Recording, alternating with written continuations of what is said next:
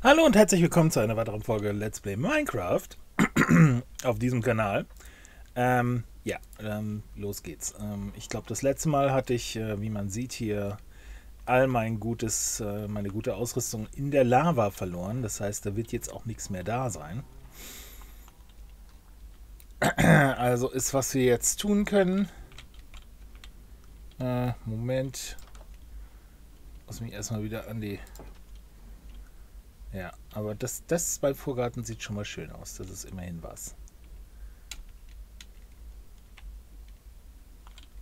Ja, was wir tun können, ist runter in die Mine und gucken, ob wir ein paar Diamanten finden.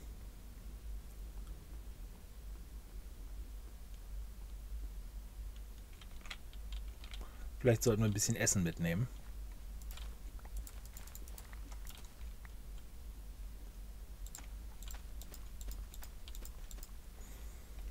So, ach, ach, machen wir auch noch Brot. Ach ja, Fackeln bräuchten wir eigentlich auch, bevor wir in die Mine gehen. Oder zumindest Holz. Kohle werden wir unten finden, hoffe ich. Ja, das ist dabei. Äh, immer wenn man es nicht gebrauchen kann, fällt man dann gerade in die Lava und der ganze Kram ist weg. Warte mal. Achso, ja. Und man darf sich davon dann einfach nicht äh, wie sagt man, hm, man darf sich davon einfach nicht äh, beirren lassen.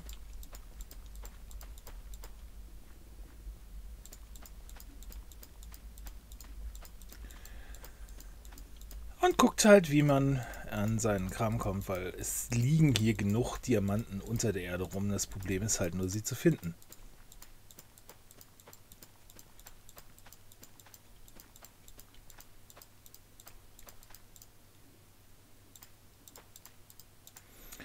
So, die ganzen, die ganzen Weizensamen brauche ich nicht mitnehmen.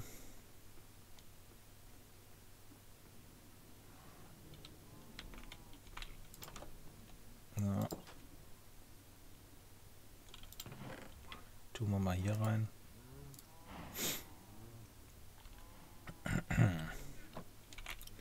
Und hier draußen machen wir mal. Ach so, da brauchen wir einen, brauchen wir einen Worktisch dazu hier. Okay. So, 22 Brot und 22 Karotte. Das sollte mich erstmal ernähren da unten. Dann vielleicht... Ich habe sogar noch drei Diamanten übrig da. Vielleicht sollte ich mir eine machen für die harten äh, Rohstoffe, falls ich welche finde und brauche.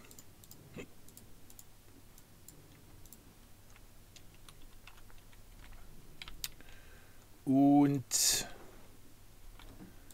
wo hatte ich die Kohle? Äh, hier ist zumindest welche. Na, so, da machen wir dann mal Fackeln draus. Ach so, 64 Fackeln habe ich sogar schon dabei. Wäre gar nicht nötig gewesen. Naja, was soll's. Ein bisschen mehr ist nie verkehrt. Ähm, so. Gut, dann bin ich soweit ausgerüstet für meine weitere Mining-Expedition hier. Ich könnte hier auch mal wieder ein paar Bäume pflanzen, damit ich wieder Holz habe. So. Ähm, hier geht's runter. Fast durch das Tor gegangen. Da kommen wir ins Nether, da wollen wir nicht hin.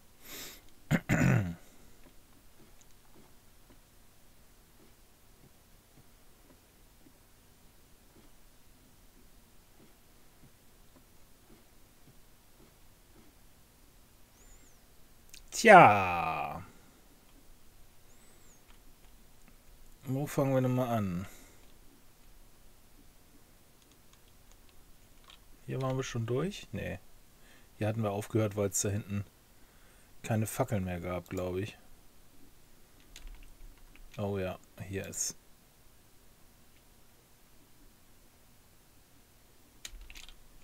Aha, so hatten wir das gemacht. Okay. Okay, super.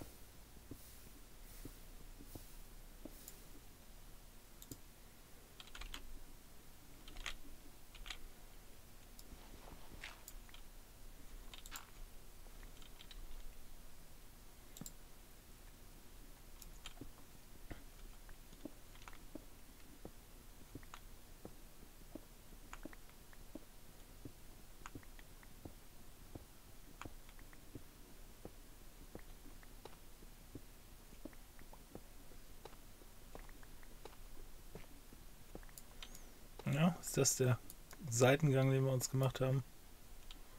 Nicht wirklich. Okay.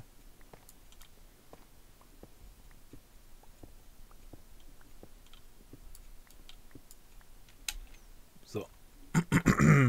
Das lassen wir mal hier oben auf dem Level, weil da ist Lava. Aber hier können wir dann wieder runter. Ach, sie aneisen. Hier unten.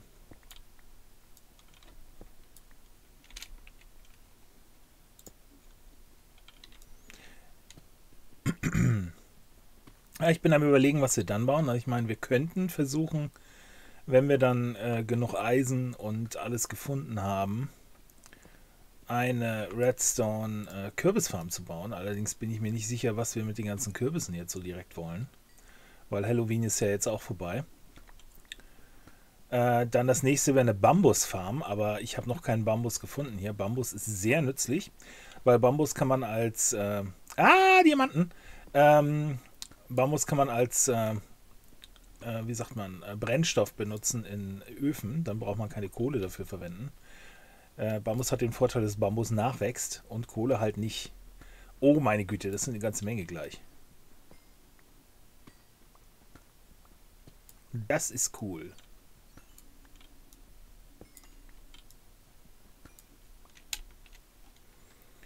Das ist super cool. Siehst du, wie zerronnen, so gewonnen. Okay.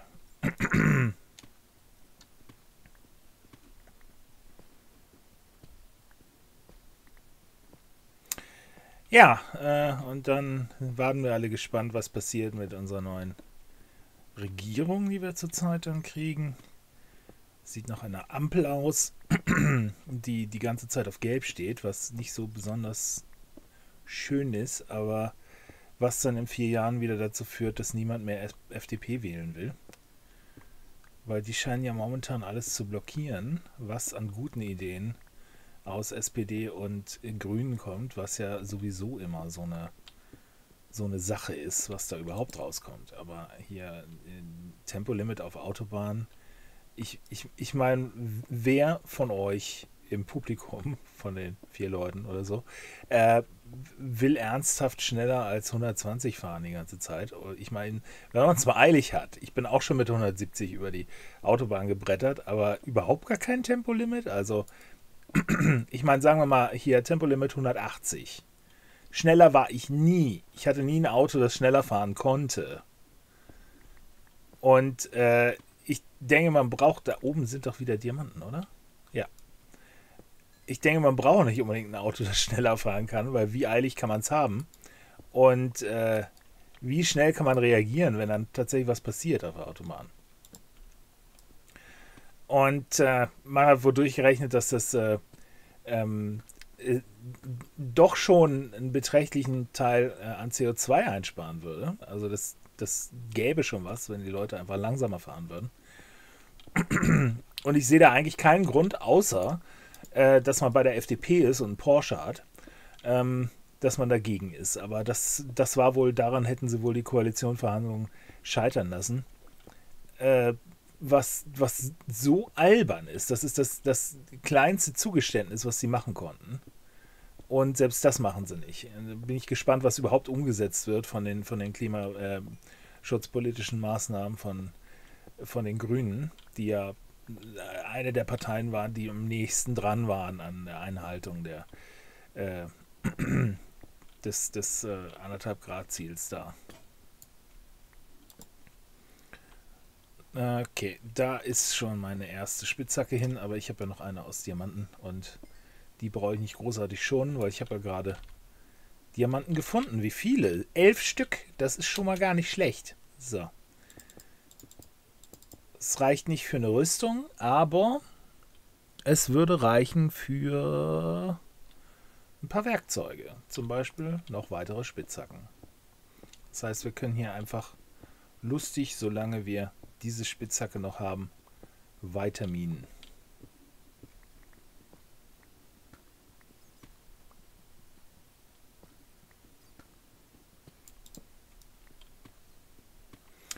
Ja, das ist das. Dann äh, haben wir wieder jede Menge von der menschlichen Malware, die im Umlauf ist in Deutschland, weil äh, ein Lockdown nicht mehr gewünscht ist politisch. Und äh, weil man sich denkt, ja, hm, sind, sind ja alle irgendwie geimpft, dann lassen wir es mal drauf ankommen, egal wer stirbt. Ich meine, sind nicht alle geimpft, die ganzen Kinder zum Beispiel sind noch nicht geimpft. Und äh, ja, bei mir und meinen Eltern zum Beispiel, wir wurden im Frühjahr geimpft. Und äh, zumindest mit äh, Pfizer BioNTech ähm, geht ja die Wirksamkeit nach sechs Monaten deutlich runter. Das heißt, wir müssten dann im Dezember müssen wir Booster-Shot bekommen. Und da kann die Kacke schon wieder am Dampfen sein, weil äh, sie ist jetzt schon am Dampfen, ist schon wieder alles rot. Wir haben jetzt äh, sogar bei uns, äh, wir sind normalerweise ein Kreis mit relativ äh, guten, äh, mit einer relativ guten Covid-Quote, das heißt niedrigen. Ähm, selbst bei uns äh, gibt es wieder über 100 Inzidenzen. Und ja, da geht man dann, da, da, geht man dann ungern aus dem Haus, ne? Weil wer weiß, was man sich äh, einfängt. Ja, und hm, blödes Thema. Ich weiß, niemand möchte drüber reden, aber ist halt immer noch da, ne? weil man halt nicht ähm, eine harte Bremse gezogen hat letztes Jahr. Hätte man einfach gesagt, hier, als es anfing, weltweit äh, alle bitte, außer die, die wirklich notwendig sind dafür, dass Strom und Wasser läuft, weltweit bitte alle zwei Wochen zu Hause bleiben. Oder sagen wir mal zur Sicherheit einen Monat, dann wird das jetzt ganz anders aussehen. Aber sowas kriegst du halt nicht koordiniert äh, in unserer multipolaren Welt quasi. Ja, ja, gut. Und dann haben wir auch immer noch die, die äh, 30% Impfverweiger oder ich, ich weiß nicht, wie viel es bei uns sind. Das sind 13 bis 30, irgendwie sowas. Also die ganzen äh, AfD-Nazis hier sowieso. Äh, aber da kommen dann ja auch noch äh, Esoteriker dazu und irgendwelche anderen Schwurbler und ja, äh, das, ich meine, es gibt Schnittmengen zwischen den Gruppen, aber nicht jeder Esoteriker ist ein Nazi und umgekehrt es gibt auch Leute, die sich als links empfinden und gegen äh, Impfungen sind, weil, keine Ahnung, sie dem Staat generell misstrauen oder so. Was schon irgendwie, äh, ich meine, generell verständlich, aber der Staat hat kein Interesse daran, seine Bürger äh, zu vergiften. Weil wenn der Staat seine Bürger vergiftet, und es ist ja eine breit angelegte Impfkampagne mit prominenten Politikern und, und so an vorderster Front, die sich impfen lassen, demonstrativ. Also nicht, nicht alle Prominenten und nicht alle Politiker, aber halt die, die, die keine Schwurbler sind. Ähm,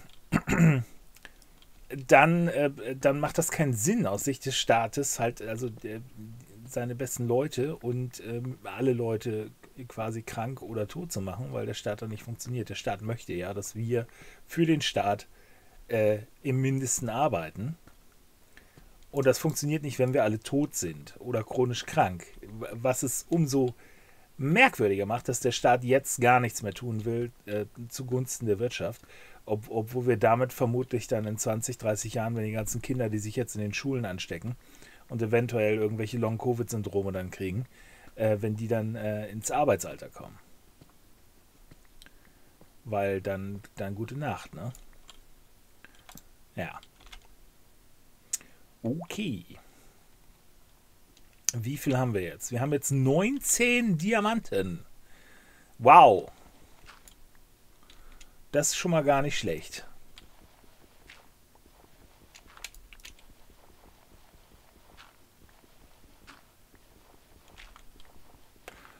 Ja, müssen wir mal überlegen, was wir überhaupt bauen wollen oben. Haben wir schon einigermaßen große Hütte.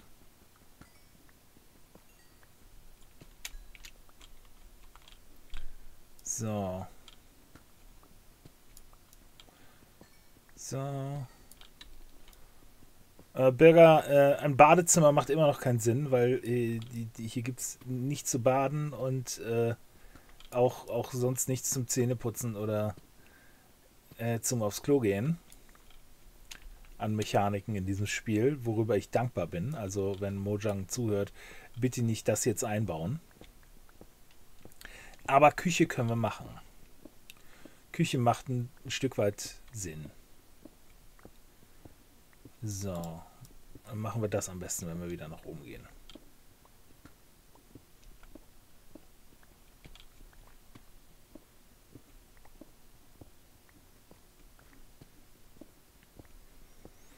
Und dann sollten wir Bambus finden, ne? weil dann brauchen wir unseren Autosmelter und für den brauchen wir Bambus.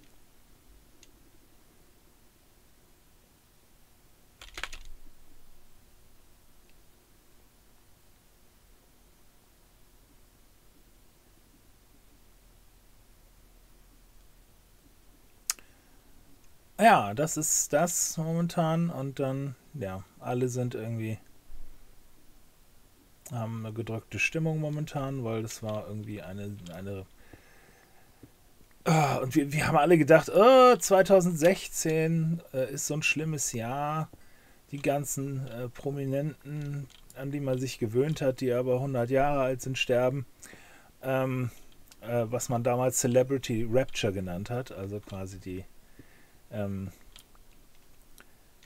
äh, Rapture ist ja die, die, äh, der Tag des jüngsten Gerichts, wo die Christen auffahren in den Himmel und alle anderen irgendwie eine, eine, ähm, ach, scheiße.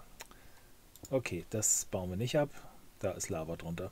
Äh, und alle anderen eine Existenz äh, irgendwie zwischen Dämonen auf der Erde führen müssen. Und das ist ja 2016 passiert.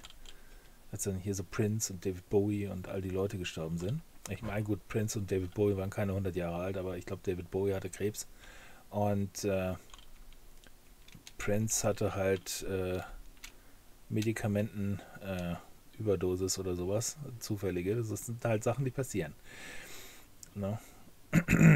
Und ähm, gut, äh, ich meine, wenn ich jetzt Hardcore-Christ wäre, dann würde ich einerseits glauben, dass diese Rapture passiert ist, äh, weil äh, die Jahre danach wurden tatsächlich, also dann kam Trump und äh, dann kam irgendwann Covid und äh, Jetzt äh, haben wir langsam die Folgen des Klimawandels, die ankommen und so. Ich meine, das äh, passt in das Narrativ, sage ich mal, einer christlichen, äh, eines christlichen jüngsten Gerichts. Das Problem ist aber, dass äh, wenn ich daran glauben würde, wäre ich ja selber Christ und äh, wäre dann nicht mehr hier, weil ich wäre dann schon aufgefahren in den Himmel.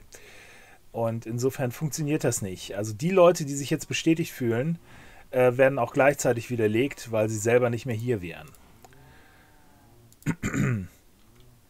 Und darum ist äh, diese, dieses, äh, gibt ja dieses Schwurbler, ja, äh, der, der, Impfstoff ist die Zahl des Tiers und wer den Impfstoff freiwillig annimmt, der kann nicht in den Himmel einfahren. Das ist halt deswegen Blödsinn. Weil äh, die Leute, die halt die halt daran glauben, die sollten eigentlich schon nicht mehr hier sein, weil die wären schon errettet und im, im Himmel quasi bei Gott und würden den ganzen Tag äh, lustige Gregorianer-Gesänge hören. Äh, das ist ja nun äh, nicht der Fall, weil die Schwurbler sind ja immer noch hier. Also keine Ahnung, wie sich deren Logik da daraus windet. Ist aber interessant, darüber nachzudenken. Und, und genau das Gleiche ist halt äh, das äh, mit äh, äh, äh, die Regierung impft Leute, um, äh, um Bevölkerungskontrolle zu machen und der Überbevölkerung entgegenzuwirken, damit die halt nichts gegen den Klimawandel machen. Das ist noch so eine Theorie. Und die funktioniert auch nicht, weil ich weiß nicht, es war in einem Programm von irgendeinem Kabarettisten. Ich glaube, Bill Burr war das. Ähm, der hat ausgeführt, dass äh, wenn die Leute, die ja zum Impfen gehen, das sind ja die, die ähm, im Kopf der Schwurbler besonders äh, hörig, obrigkeitshörig sind und alles machen, was man ihnen sagt. Und genau die willst du doch nicht umbringen. Du willst doch lieber die umbringen, die sich weigern und äh, sich querstellen und die äh, bei jedem Schritt äh, immer Ärger machen. Das heißt, äh, wäre ich die Regierung und würde das Volk quasi ausdünnen wollen, dann würde ich doch die ausdünnen wollen, die sich nicht impfen lassen. Ja, und wenn man das mal einem Impfgegner erzählt, dann guckt er auch wie ein Auto und weiß nicht mehr, was er sagen soll. Ja, hm. Ich weiß nicht, ob äh, kontroverse Themen und Minecraft so eine gute Kombi ist, aber äh, äh, alles scheint besser zu sein, als äh, aus einem Buch für Parapsychologie vorzulesen. Darum mache ich das jetzt einfach mal. Guti, aber jetzt sind wir wieder oben. Das heißt, ich brauche nicht mehr frei fabulieren weil hier machen wir jetzt Sachen. Ähm, gut, also das, die, ich meine, wir haben ja schon sowas wie eine halbe Küche haben wir hier. Ich meine den Sägeblock und so. Hm. Also hier haben wir die Nahrung drin in diesen Kisten. Das heißt, wenn wir hier eine Wand hochziehen, dann können wir hier eine Küche machen. Das heißt, du musst hier weg, lieber Kürbis. Und du auch. So, die Wand machen wir aus was? Die machen wir natürlich hier aus den Steinen. So.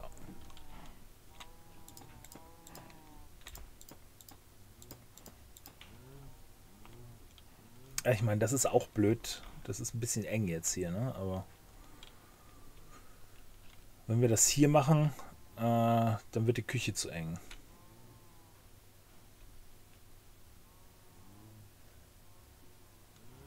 Oder ich nehme die beiden Fenster da weg.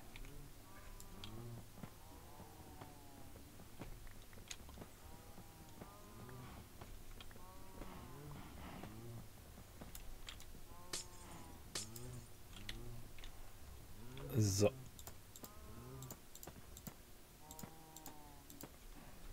Das ist besser, ja. So, und hier kommt die Tür hin.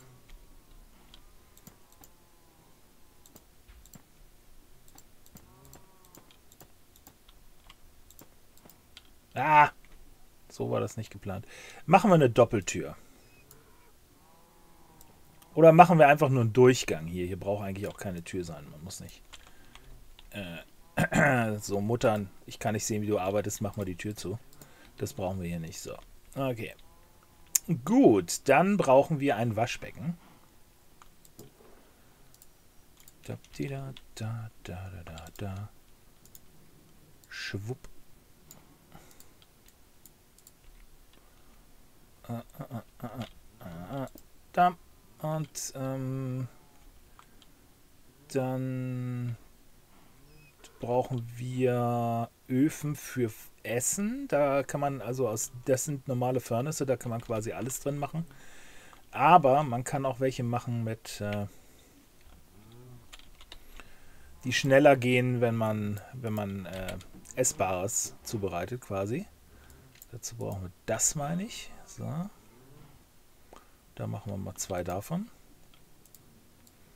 Dazu muss man erstmal einen normalen Furnace machen und den tut man dann hier hin und macht äh, die drumrum oder wie war das noch? So war das, genau, so ein. Dann haben wir einen Smoker. Das ist ein Räucherungsgerät quasi. So. Dum, dum, dum, Bam. So, ähm, und die machen wir am besten nebeneinander. So, wenn wir jetzt weiße Kisten hätten oder irgendwie was, könnten wir uns einen Kühlschrank machen, aber wir haben keine. Das heißt, die hier müssen reichen.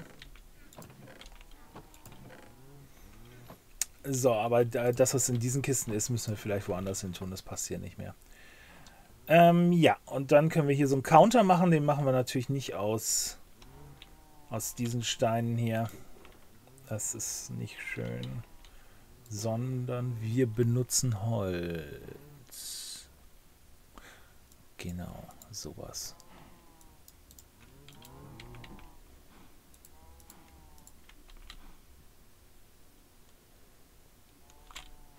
Oh. So, Küche. Siehst du wohl. Hm, hier oben könnten wir noch äh, ein paar Hängeschränke hinmachen. Und gucken, wie viel können wir machen hier. Nicht genug, okay. So. Machen wir mal drei. Dann können wir da die Küchenutensilien oben reinhängen. Aha. So. Also das Saatgut äh, brauchen wir nicht in der Küche, aber alle Sachen, die wir irgendwie zum Essen zubereiten können, die tun wir in die Küche. So. Zehn Eier, das reicht noch nicht, um eine Hühnerfarm zu machen, aber das könnten wir dann auch anstrengen irgendwann. So, machen wir hier mal die Karotten rein, in den. Hier das Weizen. Hm. Hier Kartoffeln. Ich glaube, wir brauchen mindestens noch einen weiteren Hängeschrank. Ähm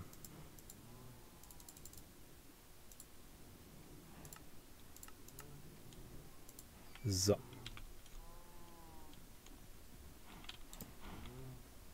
Ah, wenn wir jetzt hier einen hinbauen, dann ist er direkt vor dem Fenster, aber das ist, sieht sowieso irgendwie ungünstig aus, egal wie wir es machen, also machen wir das einfach mal. Gut, äh, dann kommen hier Eier hin und hier die Pumpkins und der Rest, die Pilze, die tun wir erstmal nochmal wieder hier rein. So, dann haben wir eine Küche. Wie gefällt dir unsere Küche, Birger? Ja gut, äh, Wasser im Waschbecken wäre auch noch eine Idee. Ähm, haben wir nicht noch einmal irgendwo? Da haben wir einen, aber der ist momentan, wird der gebraucht. Äh. So, Eimer. Ich glaube, ein paar sind verbrannt von meinen Eimern, darum habe ich keine mehr. Guti.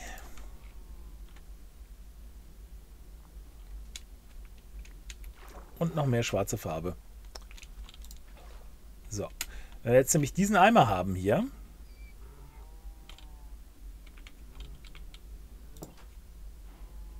Können wir nämlich hier das Waschbecken voll machen. Fertig. Tada! Küche!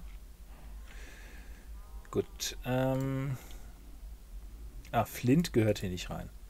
So, nehmen wir mal ein Kohle hier. Und dann... Oh, was wir hier auch noch reinbringen müssen, ist, wir haben, glaube ich, das Fleisch draußen. Das äh, ist natürlich prädestiniert hier zum, zum Kochen. Äh, Steak, Raw Beef und Raw Cod. Wenn die jetzt hier reintun, dann werden die zubereitet. So.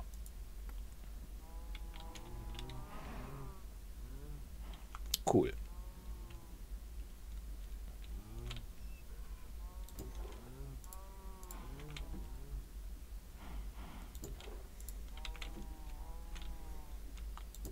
So, hier haben wir die. Gut, und da ist auch die Farbe.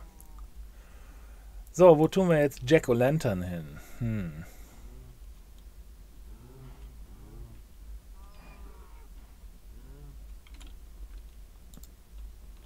Ja, haben wir auch Licht hier. Und hier ist es hier ein bisschen dunkel vielleicht. Können wir hier noch eine Fackel hinpacken. Fertig. So. Und es wird schon wieder dunkel. Okay, dann gehen wir mal nach oben schlafen. Äh, wo hatte ich das Bett jetzt hingestellt? Hier, ja.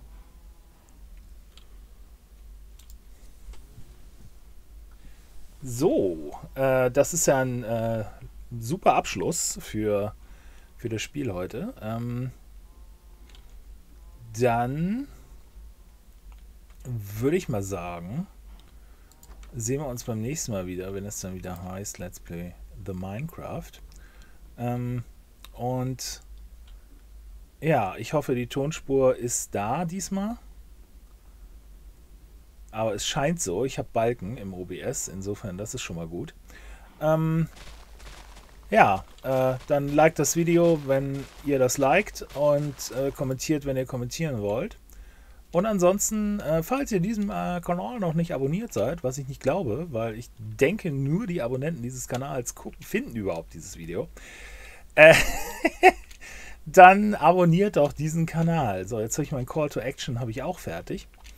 Dann beim nächsten Mal äh, werden wir dann vielleicht äh, nochmal diese Höhlen erkunden oder so. Ich weiß noch nicht ganz genau. Ähm, ja, und dann bis dann. Ciao.